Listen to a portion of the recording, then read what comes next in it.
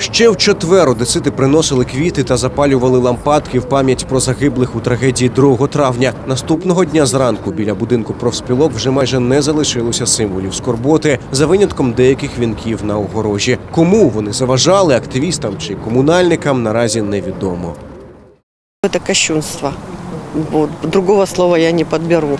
У меня, конечно, возмущения моему нет предела, потому что память, цветы, живые цветы – это продолжение жизни. И они всегда будут в нашей памяти, те люди, которых сегодня с нами нет. Вот. А то, что убрали, это, естественно, протест. Протест они предъявляют кому? Именно людям, которые помнят и скорбят. Зазначимо, що на розі Преображенської і Дерибасівської, де п'ять років тому загинули перші активісти Євромайдану, квіти й лампадки збереглися.